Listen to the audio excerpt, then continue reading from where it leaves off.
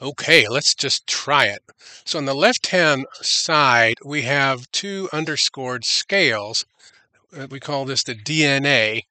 And the first scale starts on a G flat and it sounds like this.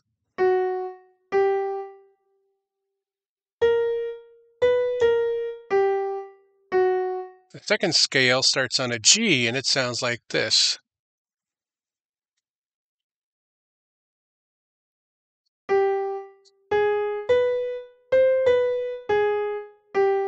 So, far, so good. That's a 131 interval, and we call this uh, what we call our raga scale. But going back to the first scale, if we go all the way up to the top, whoops,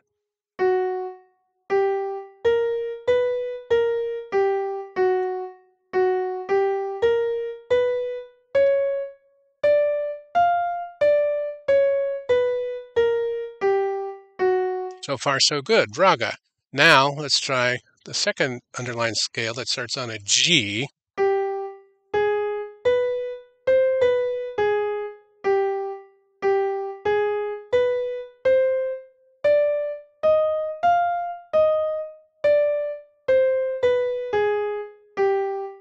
Sounds the same, but they're not because the D flat DF is not the same as the D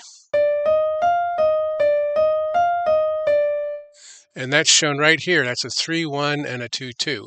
Ladies and gentlemen, this is a recap of composing in New Realms, episode 24 Evolve, Multiswirl, Art Name, and Tweak. In today's episode, we re entered by reflecting our new World System 6 composition cropping, chopping it down from five and, a half, five and a half to three minutes. We like it much better. It keeps our interest again. And basically, we took out a lot of reprises and, and one little chunk at the end. We also feel like uh, the new composing exhibit is where we are feeling new energy. More about that in a second. Uh, and it also, the new composing exhibit seems to tie into our world systems theory theme. Um, we've also been pondering things like life is a strange mix of carrot and sticks. Uh, you know, in other words, a carrot is things that attract us and enthuse us and feel energy, and sticks are things like where we're feeling like it's the same old, same old, and our energy drops. And in some ways, we communicate that in our music minor, major, dissonant, consonant, popular music and you know weird interesting new music. But we digress. So we are working on a new composing exhibit in 3d and this is our current floor plan. Um, if you looked down from overhead um, this is the idea. It's going to be a square exhibit parcel and we're having a composer's corner, a performer's corner, a world music corner, and a theorist's corner.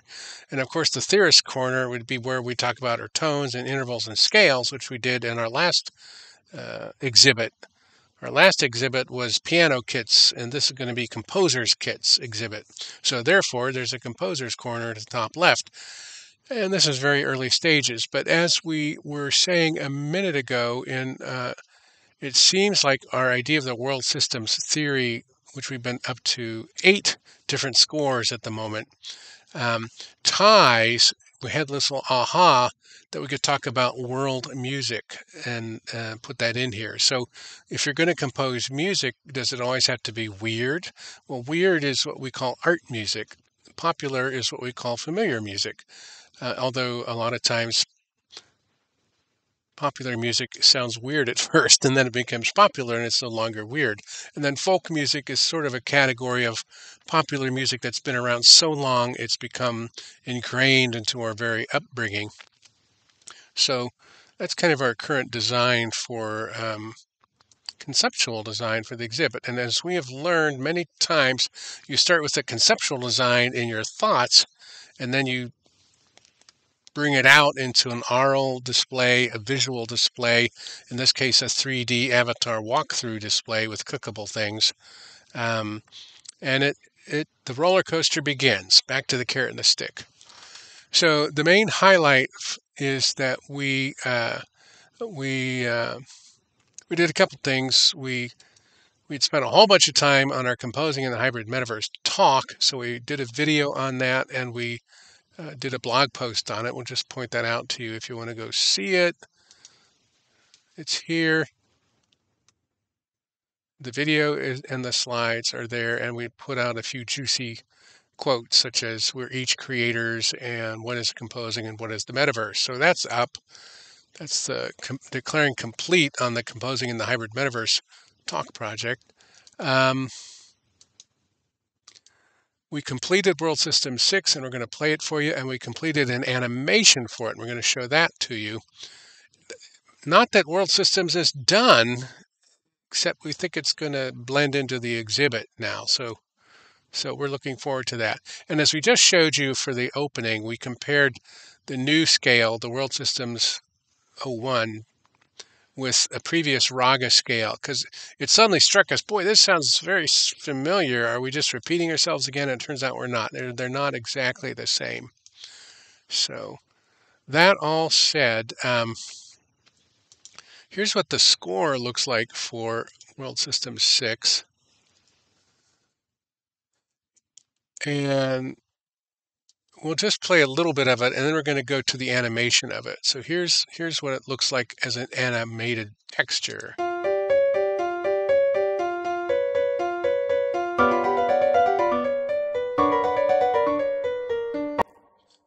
So now let's show the animated version. And these are both now posted on our um, YouTube channel.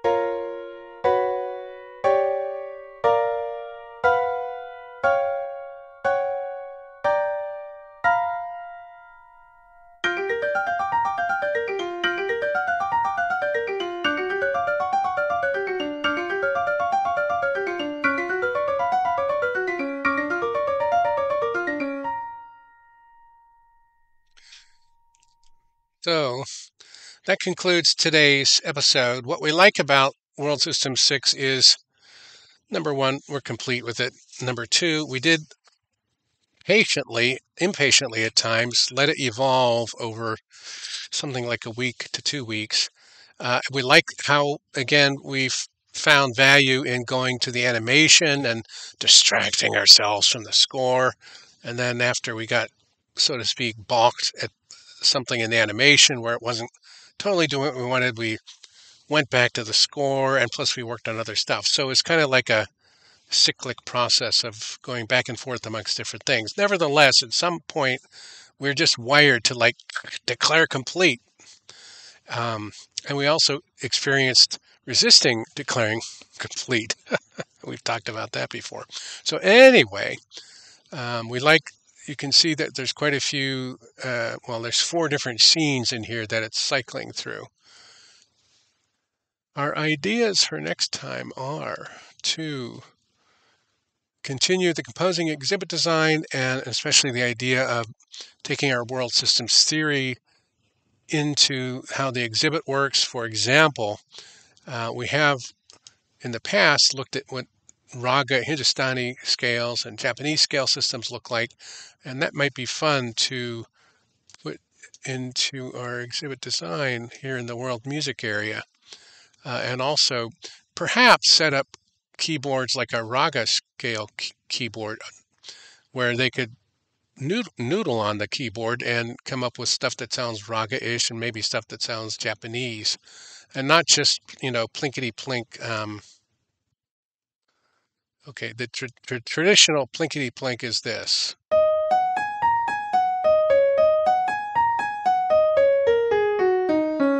So that's a Western pentatonic scale, and that's what traditionally Western composers have used to to indicate Japanese music. You know, and it's not quite accurate. I mean, it's a it's a caricature. That's okay. Mm, and we wouldn't say we were any better than that, but we'd like to have more interesting caricatures than that. That I guess that's a better way of saying it. Shout outs to Silent Lurker, Mr. Spats, Quiet Constructive Builder, and Methodic Innovator. We appreciate you. Tune in next time to see what happens. Do come back. Do take care and do keep on streaming.